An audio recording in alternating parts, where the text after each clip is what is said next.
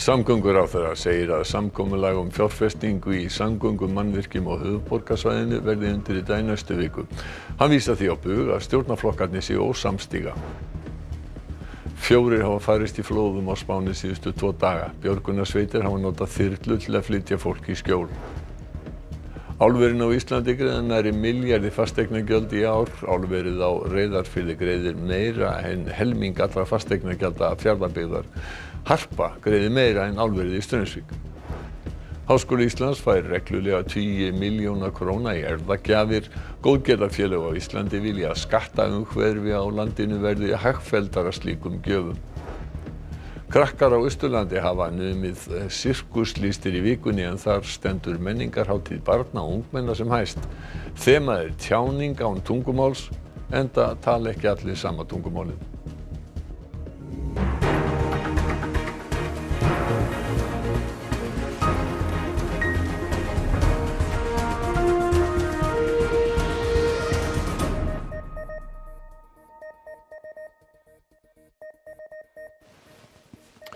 Gott kvöld.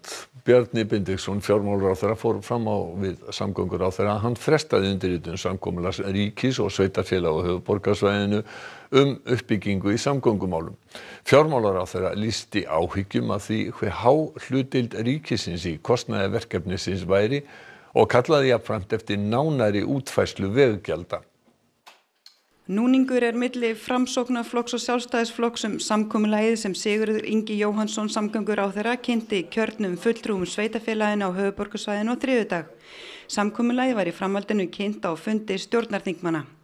Þar lísti fjármálar á þeirra óanægi sinni með hversu stór hluti framkvæmdana er þið fjármagnaður að ríkinu og gaggrindi jafnframt að það lægi ekki nægilega skýrt fyrir hvernig veggjöld er þið útfærð.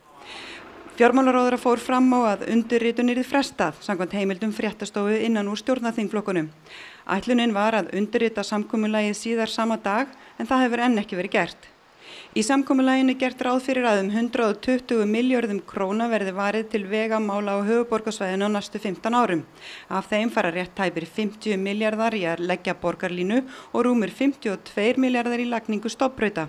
Hlutur sveitafélagan á höfuborgarsvæðinu verður 15 miljardar og ríkisins um 50 miljardar, restinn verður fjármögnum með væggjöldum. Samkvæmt heimildum fréttastofu var almenn ánægja með grunn hugmyndina samkomiðlæginu meðal stjórnarþingmannana þó tekist hafi verið á um útfærstur á fundunum. Hluti þingflokks sjálfstæðisflokksins kallaði til að mynda eftir því að þessi er gætt að hlutfall almenningssamgangna í samkomiðlæginu er það ekki of hátt á kostnað engabilsins. Fréttastofa óskaði eftir viðtalvegi Bjarnar Beinduksson í dag en hann vildi ekki verða við þeirri beðinni. Sigur Ingi Jóhannesson sagði umræðum um fjárlög og alþingi í dag að samkominnlagi verði undirritað í næstu viku. Við náum tala á honum nú á sjönda tímanum og hann sagðist ekki kannast við þann núning millir stjórnaflokkana tveggja sem nokkrir fundamanna hafa líst. Ég kannast bara ekki við þennan núning sem þú ert að fjalla um. Við munum klára þessa vinnu með sveitafélagunum, það gengir mjög vel og uh, vonandi undirrita og kynna bara fljótlega næsta. Nú hefur við heyrt frá mörgum sem voru á sem funda þriðutum að það hefur verið svona, jú, minnstakosti núningur, jafnvel meira. Um, það var ætlunin að undirrita samkumlegið á þriðudagin en því hefur ítrekka verið fresta. Hversuna var því fresta? Það er hvorki verið frestað, ítrekkað eða nokkuð. Við hefum bara verið að vinna þessa vinnu og við erum að, á endametrónum. Uh, vinnan hefur gengið mjög vel í samstarfi við öll sveitafélagin á á höfuborgarsvæðinu. Þetta er tímamóta samkómulag, hefur ekki tekist í samskiptum ríkis og sveitafélaga í mjög, mjög langan tíma að fá heldar sín og það er engin núningur millir stjórnarflokkan um það. Mun samkómulagi taka breytingum frá því sem það var kynnt á þriðdægin þá vil það verður undirritað? Samkómulag, ekkert samkómulag hefur verið kynnt. Við erum í vinnu sem við erum að ljúka og þegar við höfum lokið þeirri vinnu að þá verður samkómulegið undirritað og kynnt. Nú stóðu þeir sem voru kjörnum fulltrú á sveitafélagana voru á fundunum á þriðudaginn í þeirri trú að þetta væri samkómulega sem þeim værið að kynna en uh, þú vilt ekki meina að svo hafi verið? Við vorum að kynna niðurstöðu þeirrar vinnu og síðan tókum við ábendingar frá þeim fundum sem voru með. Meðal annars er lúta að kynningu verkefnisins og ég plakka bara mjög til að ljúka þessari vinnu og geta kynnta og tekið þá umræðu um það ofnbarlega. Úrhellisrigning og mikil flóð hafa orðið minnst fjórum að bana í síðustu hluta Spánar síðustu tvo daga. Björgunarsveitir hafa flutt fólk sem er í hættu á brott með þyrlum. Rauð veður viðvörun er enn í gildi og viðbúnaðurinn mikill. Fólki er eindreiði ráðlagt að vera ekki á ferð. Les digo a quienes nos estén escuchando que por favor sigan tomando las medidas de precaución hasta que por parte de los organismos oficiales no digamos lo contrario. Permanezcan en sus casas, no salgan salvo caso de extrema urgencia o gravedad y en cualquier caso Öll hinn látnu voru á ferð þegar vassflöymur hreyf bifriða þeirra með sér. Ástandið er einna vest í bænum Ontinjet sem er á bökkum árinar Clariano. Þar var úrkoman meiri í gær en nokkru sinni frá því mælingar hófust fyrir meira en hundrað árum. Á svæðum í kringum borgina Murcia og eins í Alicante hefur lögregla aðstöða fólk við að yfirgefa heimili sín. Fólki hefur verið bjargað um borði þyrlur og flutt í íþróttahús þar sem það gisti í nótt. Murcia er látt yfir sjáamáli og umkringt fjöllum. Það gæti því farið svo að vatn flæði þar áfram næstu daga þó úrhellinu sloti. Guðrún Helga Gísladóttir hefur búið í borginni í 16 ár. Hérna er ástandið svona. E, gámanir, bílar, þetta er ein af stóru gödunum. Gödunar mín megin voru báðar sagt, e, bara vassflaumur. Svo lagaðist það í gerð, þeir náðu að, að e, afstípla eða taka úr niðurföllum og, og náðu að taka það í burtu. En svo í morgun var það miklu verra. Þetta er ekki búið og eins og ég segi það er spáð einhverju rigningu náfram. En svo er aðal eh, áhyggjafni núna eru vassbólinn því að þau eru alltaf yfirfull og það er hæðsla um að þau bara fljóti yfir að sjálfu sér. E, og hinn mögulegir er náttúrulega bara að tæma úr þeim. En hvert á að tæma það? Það fyrir náttúrulega bara í sömu átnar og sömu vassdraumana þar sem allt er á þau fullt nú þegar.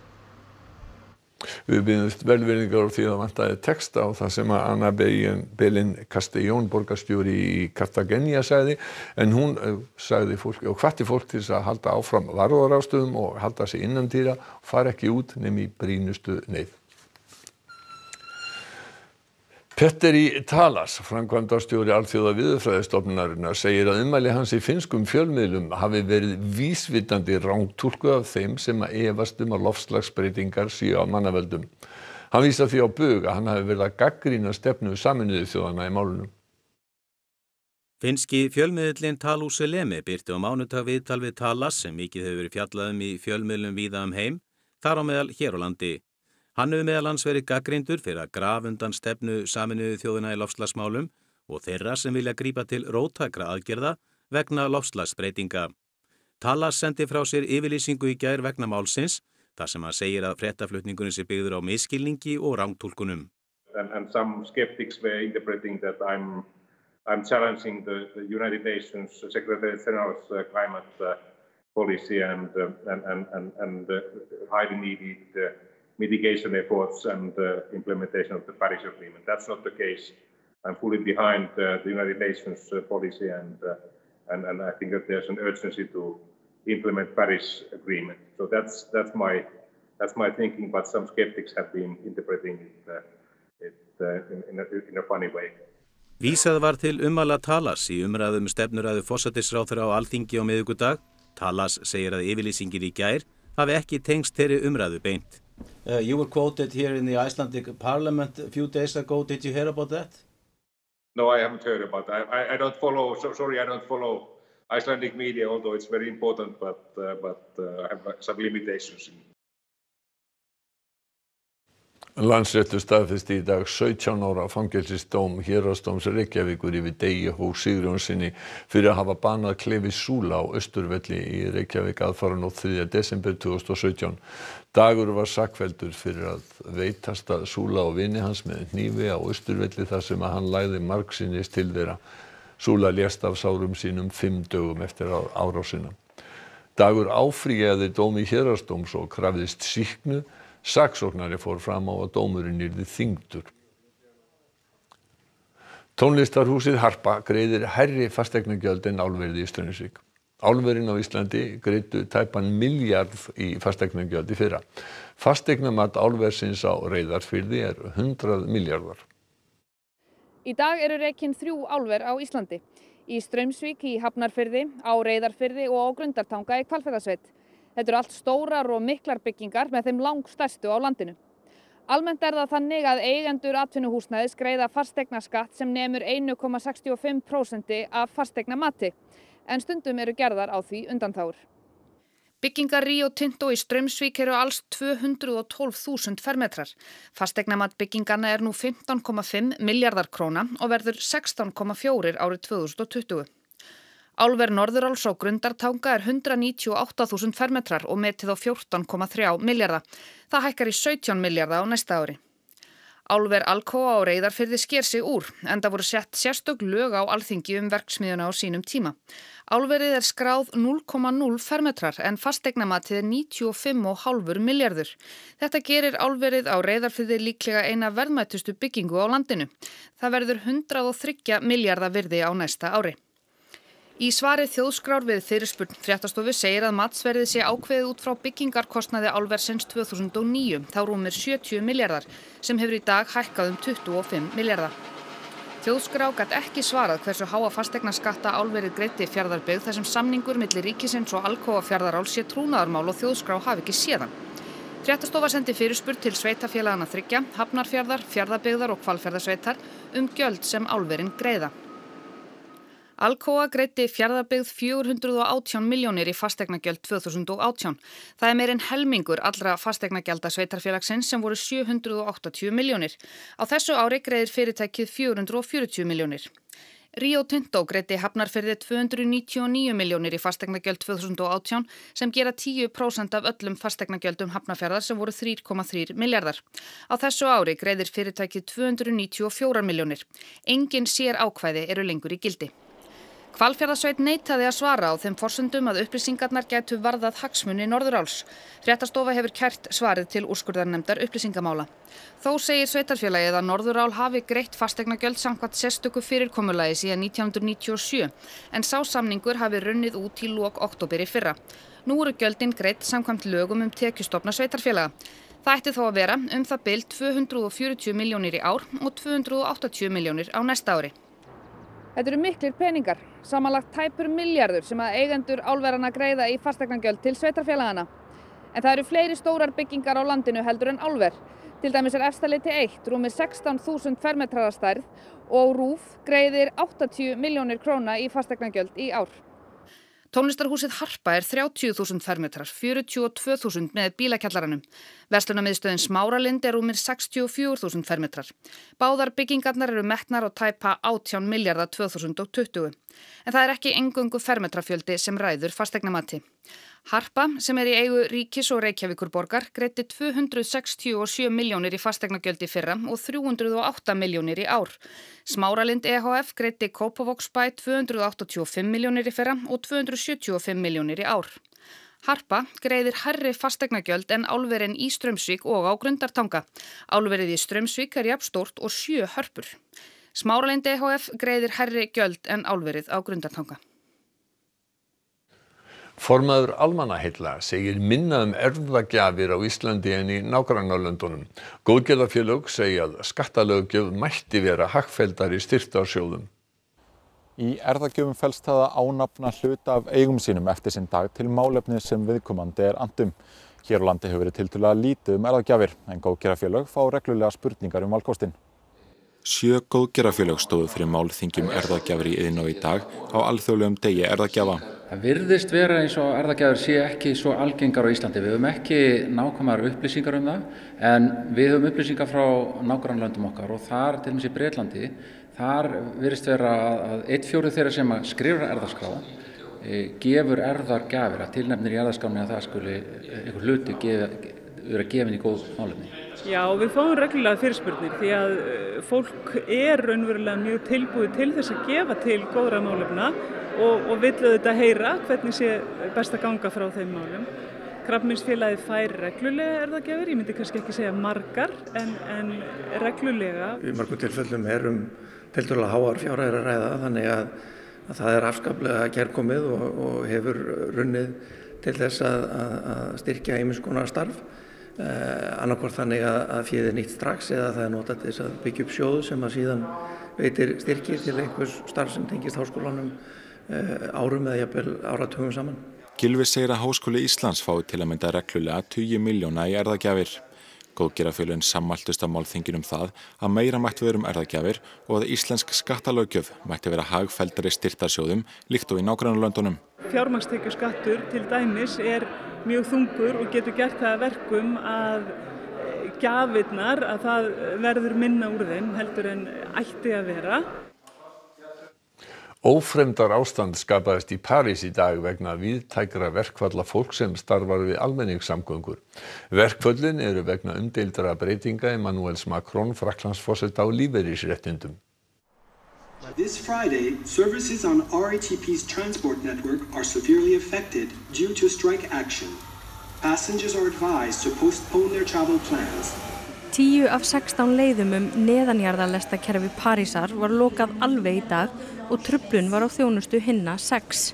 Eins og gefur að skilja var krökt af fólki á lestarpöllunum og mjög þröngt um farþega inn í þeim vögnum sem þó gengu. Verkföllin beinast að umdildum breytingum sem stendur til að gera á lífeyrisréttindum. Til dæmis segja þau sem starfa í neðanjarðarlestakerfinu að eftir breytingar geti þau ekki sest í helgan stein fyrir líkt og samið var um fyrir áratugum síðan. Þau hætta störfum um 55 ára aldur og meðan flestir aðrir í Fraklandi hætta 63 ára. Jamais en grève par plaisir. Mais c'est le gouvernement là qui nous contraint à se mettre en grève euh, en voulant nous attaquer. Maintenant, je pense que la grande masse des usagers comprend aussi qu'ils vont être directement impactés parce que ce sont des usagers des transports mais ce sont aussi des salariés et qui vont être directement impactés euh, par, cette, euh, par cette réforme. Margir gripa á það ráð að ganga eða hjóla til þess að komast leiða sinna því umferðartafir voru mun meiri en vanalega. Nokkuð sem fór ekki vel í suma Parísabúa. Euh, compliqué. Euh, D'habitude, je, je, prends euh, un tram et un métro. Les deux ne fonctionnaient pas. Du coup, j'ai dû prendre un Uber. Euh, j'ai mis 40 minutes avant d'avoir un, un, Uber.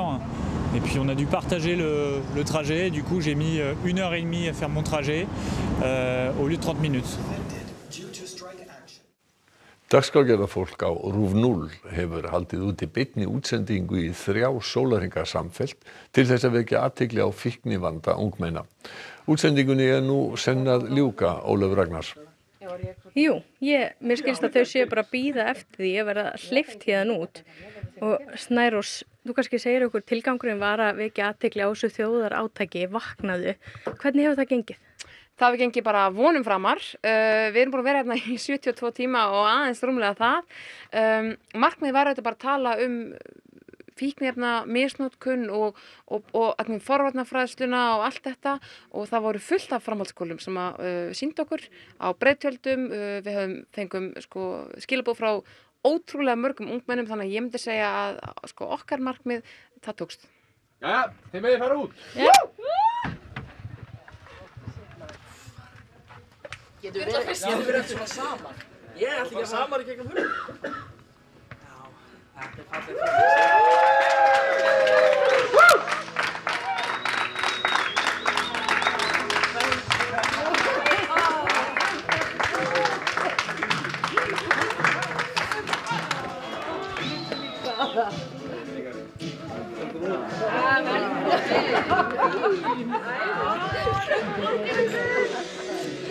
Já, herði, við ætlum að grípa hérna eina, eina af fósforskonum, eitt líf sem hefur staðið fyrir þessu þjóðar átæki. Hvernig hefur gengið? Það hefur gengið bara mjög vel. Við erum að verða búin að selja 10.000 varasett og sapna fullt af penningum, þannig að við erum mjög gladar.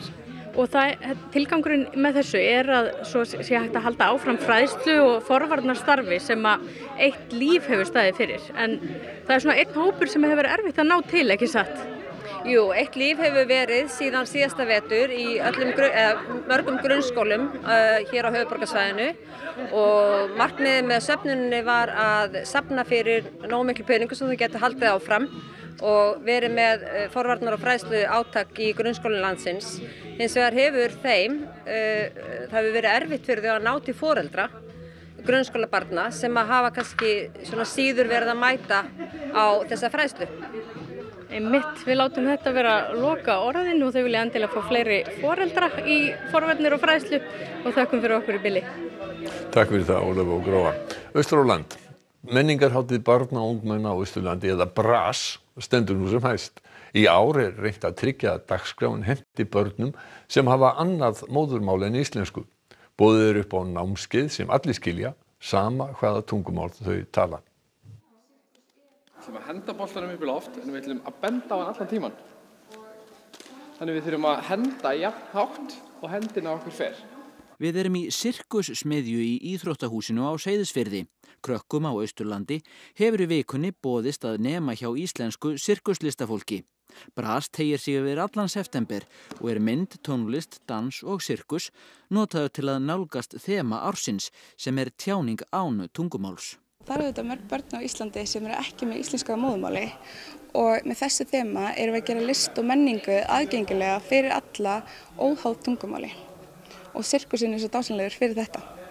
Hver er listin við að ef að vera góður í djögla? Það er þólum að að um, píka upp boltana þegar maður er búinn að missa þá.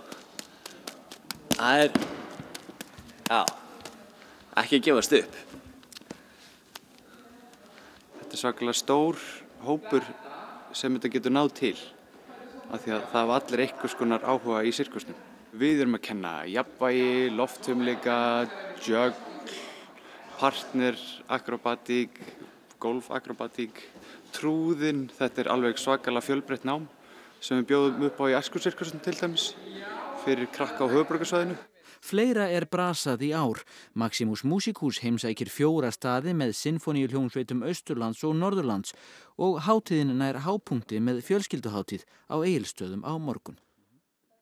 Veðrið vaksandi austlæg átti í nótt með rigningu um allt land hvassviðri í fyrramálið og talsverði rigningu um tíma sunnan og suðu austan til. Norrlegari þegar líður á daginn og bætir í úrkomu fyrir norðan en stittir upp og lægir vestanlands annað kvöld. Sigurði Jónsson viðfræðingur fer nánar yfir veðrið að loknum íþróttum og það er Kristjana Arnarsdóttir sem er með íþróttafréttindan í kvöld. Það var ótrúleg spenna í leik Spánar og Ástralíu í undanúrslitum HM Karla í Körfubólta í dag. Nú er ljóst hvaða liði leika til úrslita á mótinu. Vikarmeistaratitil Karla í fótbolta fer á loft á lögadalsvelli á morgun. Arnar Gunnlaugsson verður áfram þjálfari vikinga næstu tvö árin. Úrvalslið Evrópu fór vel af stað á fyrsta keppnistegi Solheim byggarsins í golfi. Helstu aðtriði fréttana í kvöld. Samgöngur á þeirra segir að samkomulag um fjárfestingu í samgöngumannvirkjum á höfuborgarsvæðinu verði undirritað í næstu viku. Hann vísa því á bug að stjórnarflokkarnir séu ósamstíga. Fjórir hafa farist í flóðum á Spáni síðustu tvo daga. Björgunarsveitir hafa notað þyrlu til þess að flytja fólk í skjól.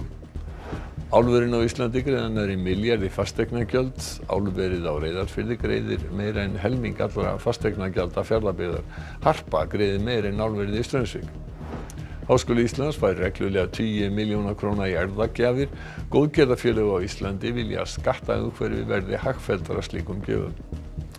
Þessum fréttatíma er lokið, næstu fréttir er í útvarpu klukkan 10 kvöld og við minnum ykkur á það að það má sjá þennan fréttatíma á aðra í RÚV appinu og spilar okkar. Verðið sæl og njótið helgarinnar.